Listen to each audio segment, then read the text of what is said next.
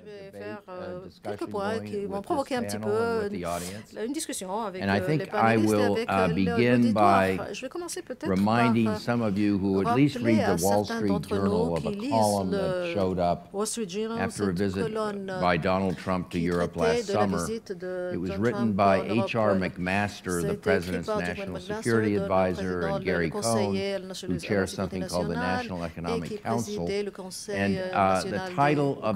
Le titre de l'article uh, America first does not mean America alone. And I'm not sure whether or not I agree with that, but I do think that America first perhaps means Europe alone.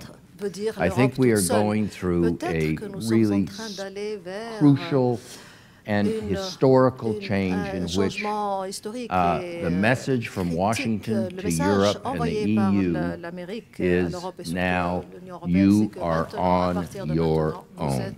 If you think back both through the uh, post, immediate post-war period, the Cold War period, and the aftermath of the Cold War, the one kind of stabilizing uh, influence in international politics the U.S.-European relationship.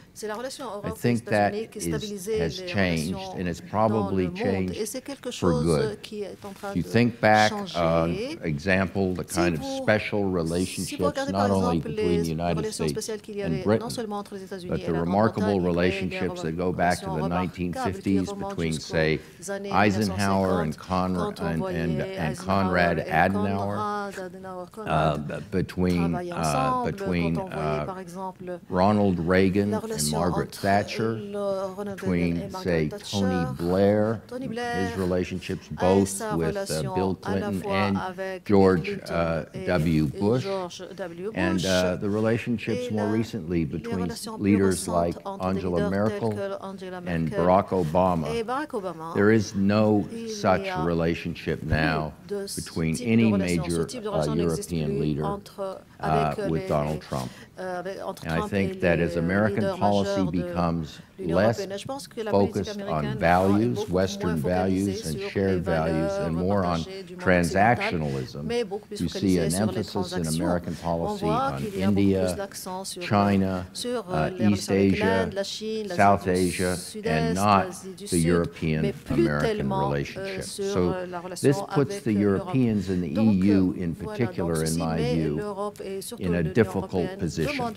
On the one hand, it's kind of a scary scary world for the Europeans out there without the United States as a partner. But on the other hand, it can also be a force for change in Europe, an invigorating period for Europe to take, uh, take on new responsibilities and new leadership.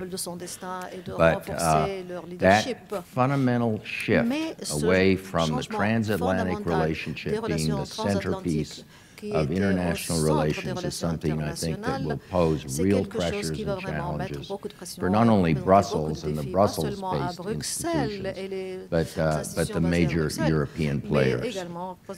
Point two, that means, in my view, that Europe has to strengthen itself. Uh, we all recognize the importance of coming to grips with the economic challenges, dealing with uh, fixing the, uh, the uh, European monetary system, finding a way of dealing with some persistent uh, European issues like, like growth. Uh, and I think some progress has been made in those areas, but the one thing I would emphasize briefly this morning lequel j'aimerais vraiment insister ce matin, c'est l'importance pour l'Europe de renforcer uh, leur pilier défense.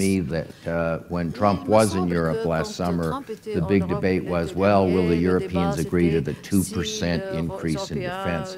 That, to me, is the wrong way to cast the issue. Europeans shouldn't think about defense spending as a way of placating the Americans. The Europeans need to think about defense spending and strengthening in their defense to play a bigger role in international politics. I think there is some consensus beginning to emerge along those lines, and I think I would only, as an American, applaud an effort to strengthen European security and defense. Third point, Europe needs a strategy, a common strategy for regulating and protecting its borders. I'm not talking here about a Trumpian wall a vraiment un European-wide besoin de, uh, immigration pour les Européens strategy, d'avoir une one and one which is not based or, or, qui ne soit or, uh, or uh, implemented on a ou qui ne soit national basis, but on an euh, EU basis. euh, I think more has to be done in this area. faire de fait de Uh, manière it's, conjointe entre uh, the- The problem of immigration has loomed large recently, problème qui a pris particularly in places like Eastern Europe. And euh, only, it seems to me, a l'Est. Et il me semble European-wide approach to dealing with ce, ce problème peut être réglé que vous controlling the border, protecting the border is, uh, is the solution. And, and uh, uh, my penultimate point has euh, to do with the problems, if I can put it in those terms, of dealing with, uh, and I know we have a Polish je sais qu'il y a representative on our, po- représentant de on our panel, but I think we've got to do something, or Europe needs to do something about the ici, on doit unruly Eastern Europeans. And here I'm not just pointing at Poland, I'm pointing, of course, at Hungary, euh, pointing at some euh, other uh, newer members of the EU in the East. sais que le- il y a un But uh, some l'Europe de l'Est kind of, uh, some kind of, of agreement needs to be Donc, je pense reached in Brussels to find a way niveau de Bruxelles of, uh, of, if I can use this word, si je peux utiliser cette expression, demonstrating that there are costs associated with, uh, il y a des with not living up to the standards and rules of the European on ne se Union. Because if, if Europe, if the. EU fails to do this, then I think it faces dans potential disintegration. And I will, euh, I will tentative, ça veut finish my que c'est la comment by saying what I am basically an optimist about Europe, and the euh, reason I am an optimist, euh, optimist is for, is for three laquelle je suis reasons. optimiste, il y First of all, raisons pour cela. La I'm very pleased to see the results of the recent German elections. résultats de la, I'm relieved that uh, even though there are tough heureux de voir coalition discussions going on in Berlin today, assez dures sur uh, that Angela Merkel has been returned to power. que She has played a very important leadership role, and that leads to the second qu'elle avait un grand aspect, which is the results of elections in France.